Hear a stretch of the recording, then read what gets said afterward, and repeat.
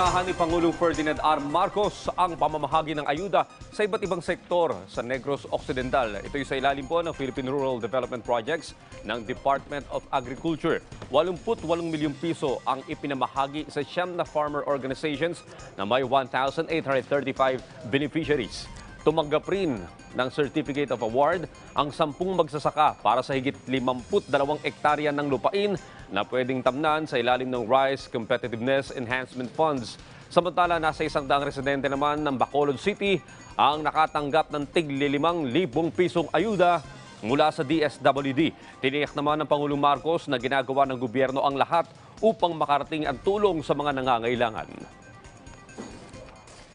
Basta't ipagpatuloy natin na pagandahin ang ah, paghawak sa ekonomiya, eh, sana naman hindi natatagal ay hindi nyo na kakailanganin itong tulong na ito.